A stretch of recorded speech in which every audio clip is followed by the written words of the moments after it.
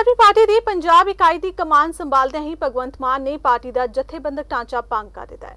ਭਗਵੰਤ ਮਾਨ ਨੇ ਅੱਜ ਚੰਡੀਗੜ੍ਹ ਵਿੱਚ ਮੀਟਿੰਗ ਤੋਂ ਬਾਅਦ ਇਹ ਐਲਾਨ ਕੀਤਾ। ਉਹਨਾਂ ਕਿਹਾ ਕਿ ਅੱਜ ਤੋਂ ਪਾਰਟੀ ਦਾ ਸਾਰਾ ਜਥੇਬੰਦਕ ਢਾਂਚਾ ਭੰਗ ਹੈ। ਜਲਦ ਹੀ ਨਵਾਂ ਢਾਂਚਾ ਉਸਾਰਿਆ ਜਾਏਗਾ। ਇਸ ਲਈ ਪੂਰੀ ਚੋਣ ਪ੍ਰਕਿਰਿਆ ਤਹਿਤ ਨਵੀਆਂ ਨਿਯੁਕਤੀਆਂ ਕੀਤੀਆਂ ਜਾਣਗੀਆਂ। ਦੱਸ ਦਈਏ ਕਿ ਅੱਜ ਆਮ ਆਦਮੀ ਪਾਰਟੀ ਵੱਲੋਂ ਪੰਜਾਬ ਵਿੱਚ ਜ਼ੋਨ ਵਾਈਜ਼ ਮੀਟਿੰਗਾਂ ਕੀਤੀਆਂ ਗਈਆਂ, ਜਿਸ ਵਿੱਚ ਪਾਰਟੀ ਦੇ ਨਵੇਂ ਜਥੇਬੰਦਕ ਢਾਂਚੇ ਦਾ ਐਲਾਨ ਕੀਤਾ ਗਿਆ ਹੈ।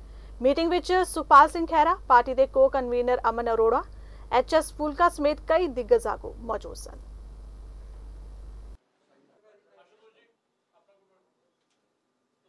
ਵਨ ਟੂ ਵਨ ਮੀਟਿੰਗ ਕਰ ਰਹੇ ਹਾਂ ਸਾਰੇ ਜ਼ੋਨਾਂ ਨਾਲ, ਕਿਉਂਕਿ ਪਹਿਲਾਂ ਇਲੈਕਸ਼ਨਾਂ ਵੇਲੇ ਭੱਜ ਦੌੜ 'ਚ ਨਾ ਸਾਡੀ, ਸਾਨੂੰ ਆਪਣੀਆਂ ਸੁਣਾਉਣ ਦਾ ਮੌਕਾ ਮਿਲਿਆ, ਨਾ ਉਹਨਾਂ ਨੂੰ ਆਪਣੀਆਂ ਸੁਣਾਉਣ ਦਾ ਮੌਕਾ ਮਿਲਿਆ। ਸੋ ਜੋ ਆਤਮ ਮੰਥਨ ਜਿਹੜਾ ਸੀ ਪਹਿਲਾਂ ਕਿਹਾ ਸੀ ਕਿ ਜੋ ਉਮੀਦ ਤੋਂ ਘੱਟ ਨਤੀਜੇ ਆਏ ਨੇ, ਉਹਨਾਂ ਦਾ ਕਾਰਨ ਕੀ ਰਿਹਾ? ਉਹ ਸਾਰਾ ਅਸੀਂ ਪੁਆਇੰਟ ਟੂ ਪੁਆਇੰਟ ਨੋਟ ਕਰ ਰਹੇ ਹਾਂ। ਇੱਕ ਇੱਕ ਪੁਆਇੰਟ ਜਿਹੜਾ ਸਾਰੇ ਕੈਂਡੀਡੇਟਸ ਦਾ ਜਾਂ ਅਹੁਦੇਦਾਰਾਂ ਦਾ ਕੀ ਕਮੀਆਂ ਰਹੀਆਂ, ਕੀ ਸਾਡੀਆਂ ਸਟਰੈਂਥ ਹੈ, ਉਹਨੂੰ ਹੋਰ ਕਿਵੇਂ ਵਧੀਆ ਕਰੀਏ, ਕਮੀਆਂ ਨੂੰ ਦੂਰ ਕਿਵੇਂ ਕਰੀਏ ਇਸ ਸਿਲਸਿਲੇ ਦੇ ਵਿੱਚ? ਅੱਜ ਬੜੇ ਵਿਸਥਾਰ ਨਾਲ ਮੀਟਿੰਗ ਹੋ ਰਹੀ ਹੈ। ਇੱਕ ਤਾਂ ਸਭ ਤੋਂ ਪਹਿਲੀ ਅਨਾਉਂਸਮੈਂਟ ਤਾਂ ਇਹ ਹੈ ਕਿ ਅੱਜ ਤੋਂ ਬਾਅਦ ਜਿਹੜਾ ਪਾਰਟੀ ਦਾ ਸਾਰਾ ਢਾਂਚਾ ਹੈ, ਉਹ ਭੰਗ ਹੋ ਜਾਊਗਾ। ਉਹਨੂੰ ਤੁਰੰਤ ਪ੍ਰਭਾਵ ਤੇ ਉਹਨੂੰ ਡਿਸੋਲਵ ਕੀਤਾ ਜਾਂਦਾ।